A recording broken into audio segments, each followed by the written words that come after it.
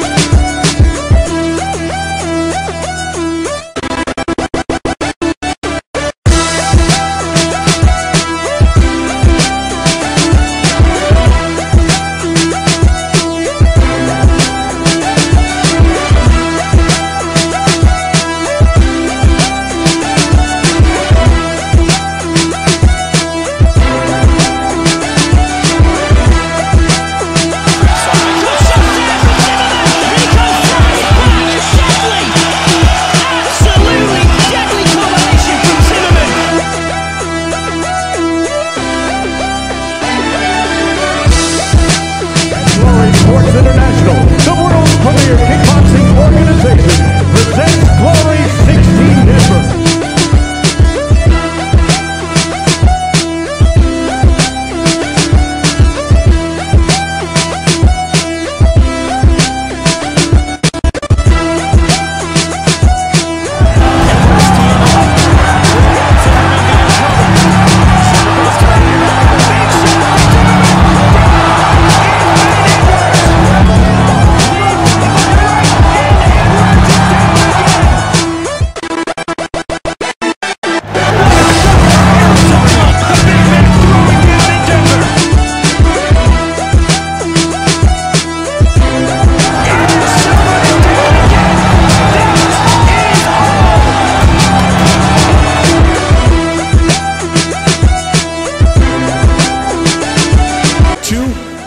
fights, two first round stoppages. When I came in, though, I saw tears of joy.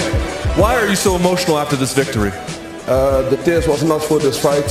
The tears were for my trainer. He passed away uh, one year ago. His name is Ramon Dekkers. He, he's a legend. I love him so much. So the, uh, these two fights wa- wa- wa- was bigger uh, than me. I fight for him and I fight for his honor. He's still here with me. His, his brother tra- trains me. So I feel his spirit every day when I'm with him.